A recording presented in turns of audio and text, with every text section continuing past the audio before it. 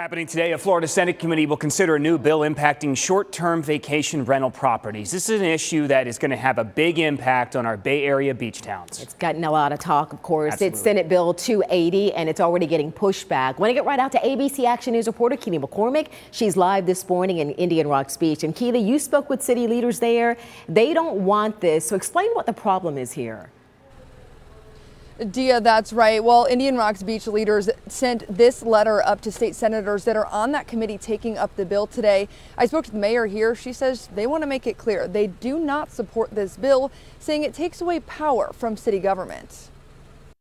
We saw the bill and we're just aghast that, you know, this bill would be being brought up after the conversations that we had.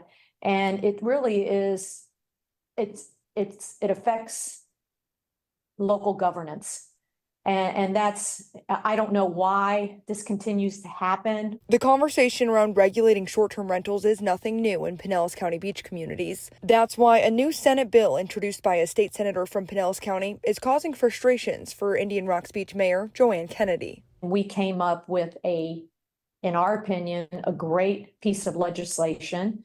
Uh, we have been implementing, implementing it now. And if this bill is passed, all of that goes away, all the work that we did at the local level. Just last summer, the city of Indian Rocks Beach created a new ordinance with rules for rental owners and occupants to follow. Kennedy says Senate Bill 280 takes the power to regulate rentals away from the city and gives it to the state. Some other concerns she mentioned the bill only allows local jurisdictions 15 days to review and approve a registration application. And the proposed statute puts a $150 limit on rental registration. Mayor Kennedy tells me the city agrees that registration costs should correlate with the cost of the administration, but says these limitations negatively impact the ability of the city to fund and manage short term rental registration programs. Many of the elected officials throughout uh, Pinellas County believe that we already have the tools.